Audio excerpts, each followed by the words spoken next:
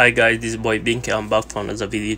Video today. I show you how to fix. Uh, please try again later into in Twitter app. The first thing you make sure you are not use the weak Wi-Fi connection.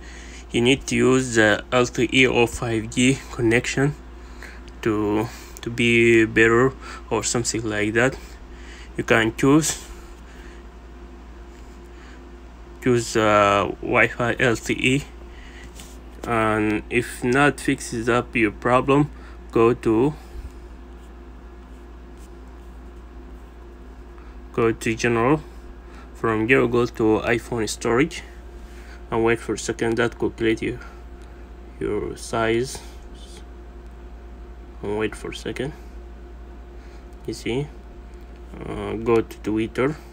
You see? Offload the app. Upload it. That may help you problem. If not make sure you are update the last version in app store. Look for twitter.